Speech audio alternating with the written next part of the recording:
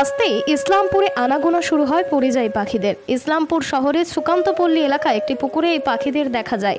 প্রত্যেক বছর শীত আসতেই ভেরভেরা নামক ওই পুকুরে পরিযায়ী পাখিরা কোথা থেকে যেন চলে আসে।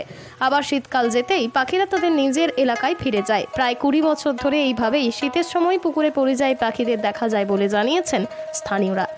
এটা ঠান্ডা পড়লেই সেপ্টেম্বর অক্টোবর মাসে চলে আসে। আবার যখন ঠান্ডাটা শেষ হয়ে যায়, মার্চ, এপ্রিলের দিকে এখান থেকে চলে যায়। প্রত্যেক বছর প্রতি আসে। বছরই আসে। কত বছর থেকে আসছে তাও? মোটামুটি আমরা এখান থেকে কুড়ি বছর থেকে দেখছি। সবাই তো বলে বেলে হাঁস। মানে হাঁস? একটা হাঁস প্রজাতি বেলে হাঁসই বলে এটাকে। এটা সবাই দেখতে আসে এরকম শীতের সময় চলে আসে তো সবাই আসে দেখতে পাখিটা।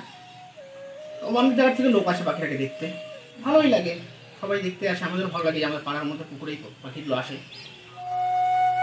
বহু মানুষ এই পাখি দেখতে ওই এলাকায় আসেন। শহরের বুকে এই পাখিগুলি কোথা থেকে আসে, আবার কোথায় চলে যায় তা কেউই জানেন না। এই পাখিগুলি অনেকটা হাঁসের মতো দেখতে, তাই অনেকেই এই পাখিগুলোকে বেলে হাঁস বলে থাকেন।